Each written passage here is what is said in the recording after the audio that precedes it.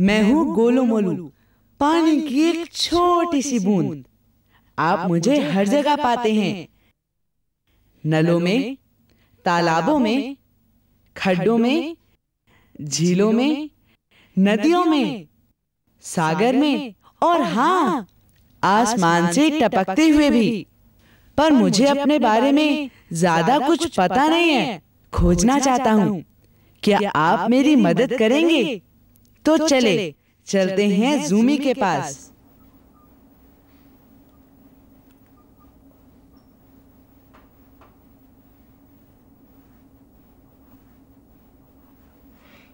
ये पानी के गुण क्या होते हैं? चलो डॉक्टर चाचा से पूछते हैं। डॉक्टर चाचा राम राम। राम राम राम राम बेटे। डॉक्टर चाचा मैं पानी के बारे में कुछ पढ़ रही थी लेकिन उसमें एक बात समझ नहीं आई। ये गुण क्या होता है? हम्म। गुण। अच्छा तुम मुझे ये बताओ कि तुम मुझे कैसे पहचानती हो? हम्म, आप डॉक्टर हैं हम्म, मरीजों का इलाज करते हैं। ठीक। और और हाँ सफ़ेद कोट भी पहनते हैं। हम्म, और और और हाँ इंजेक्शन भी लगाते हैं। भाई मुझे तो बड़ा डर लगता है इंजेक्शन से। और हाँ कड़वी कड़वी दवाइयाँ भी खानी पड़ती हैं। तो ये मेरी पहचान हुई। अच्छा ठीक। इसी तरह पानी का भी अपना गुण होता है। अच्छा पानी की खास बातें यानी पानी की जो पहचान है वही पानी के गुण है। ठीक है ठीक है। पानी के गुड़ का तो मैं अपने आप पता कर लूँगी।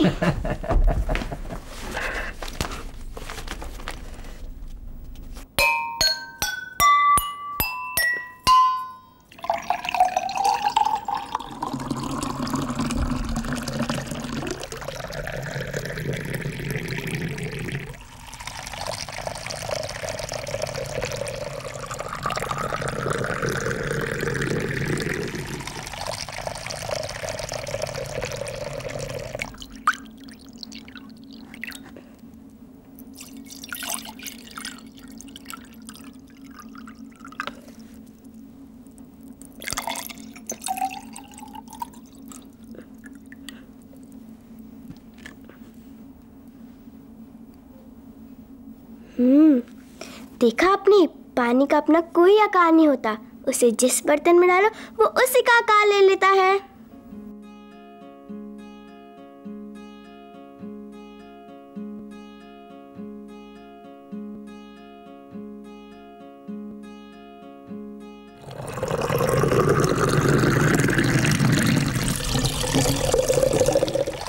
पानी का तो अपना कोई आकार होता ही नहीं है। जिसमें भर दो उसी का आकार ले लेता है।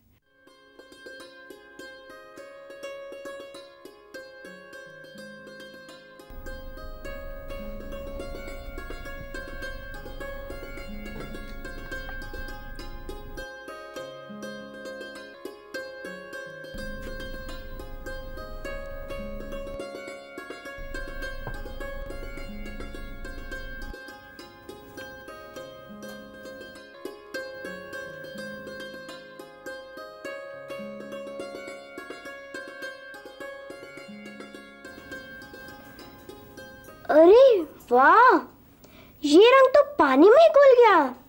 हम्म यानी कि पानी में और भी चीज़ें घुल सकती हैं। हम्म, चलो करके देखती हूँ।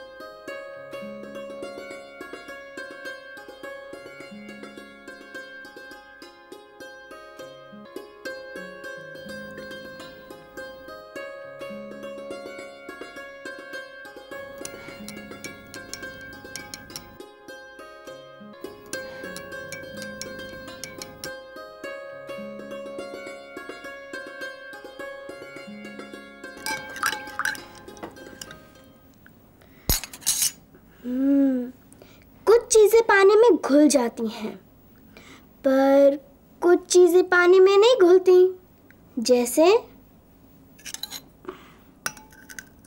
जैसे कि ये बीज।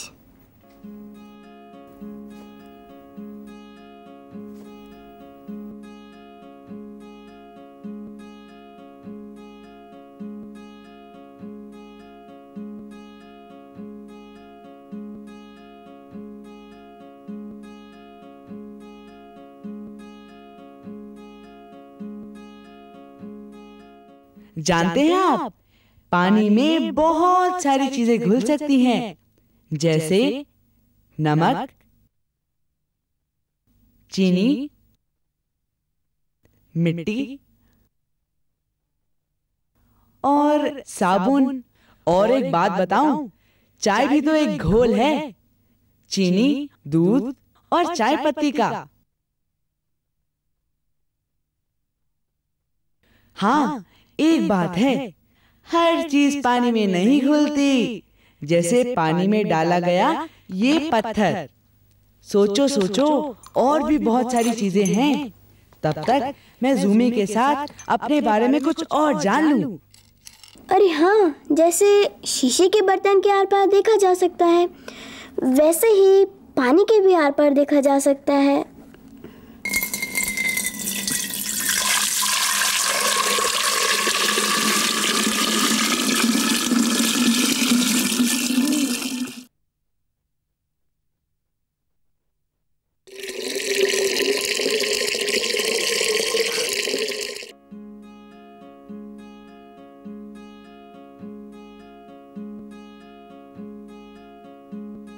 क्या आपको पता है पानी तो पारदर्शी है।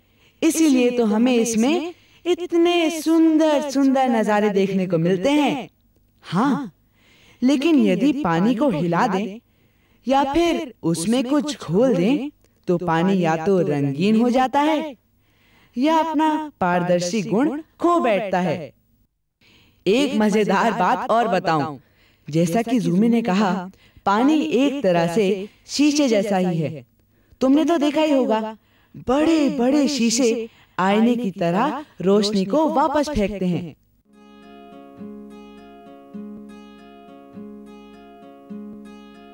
वैसे ही पानी भी आईने जैसा ही काम करता है।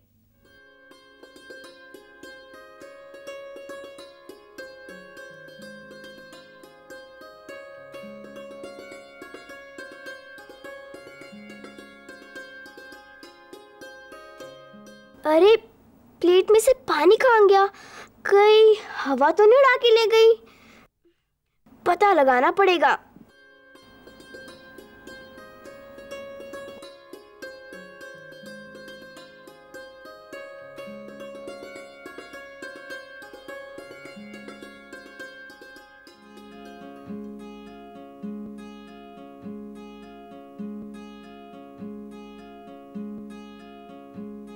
पानी भाप बनकर हवा में मिल जाता है।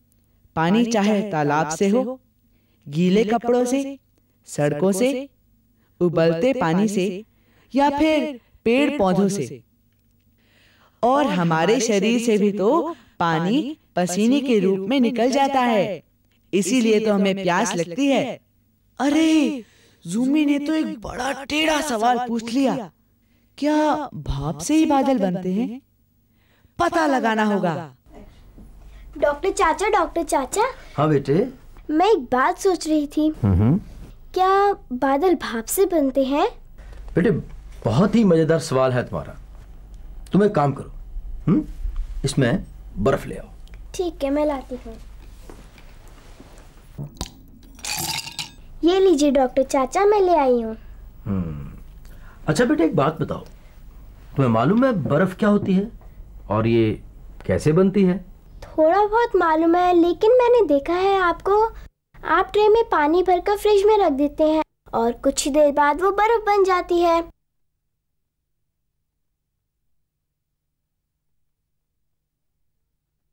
बर्फ़ तो पानी की ही बनी हुई है ना? शाबाश। बेटे तुम्हें तो बहुत मालूम है। उसे बाहर निकाल के रख दें तो वो पिघल के फिर से पानी बन जाती है। हम्म। अच्छा एक बात बताओ। ये वाला पानी कहाँ से आया? ये वाला पानी कहाँ से आया? ये ग्लास के अंदर का पानी तो नहीं है शायद हवा से आया हो। हो सकता है। अच्छा ऐसे होता है। जो पानी भाप बनकर हवा में मिल जाता है वही अब फिर से पानी बन गया। समझ में आ गया। बर्फ़ पानी और भाप। पानी के अलग अलग रूप होते हैं। पानी को ठंडा कर दो तो बर्फ़ जम जाती है और गर्म कर दो तो भाप। बर्फ़ को गर्म कर दो तो पानी बन जाता है और भाप को ठंडा कर दे तो वो भी पानी बन जाता है।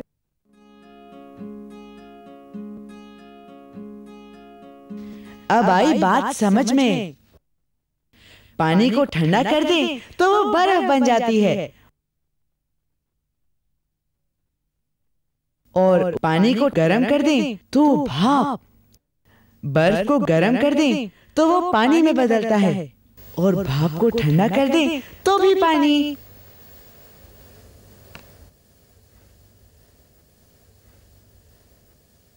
और यही भाप ठंडी होकर दिखने लगी बर्फ़ के गिलास के बाहर और उसके रूप में कोहरे के रूप में या फिर धुंध बनकर।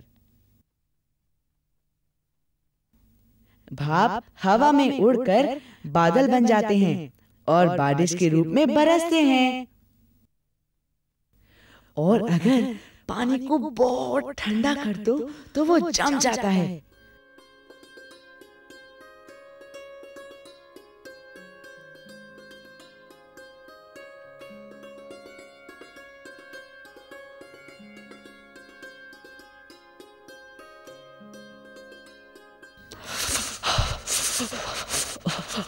और ऐसी जगह पे तो बहुत ठंड लगेगी।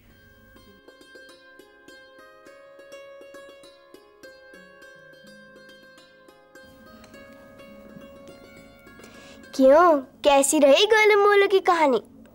भाई मुझे तो बहुत मज़ा आया खोज में। क्या आपको आया? खोज करने में तो बहुत मज़ा आता है और इतना सब कुछ पता लगता है है ना? आप लोग एक बार जूमी की किताब देख लीजिए। तब तक मैं और जूमी कुछ और खोज करके आते हैं।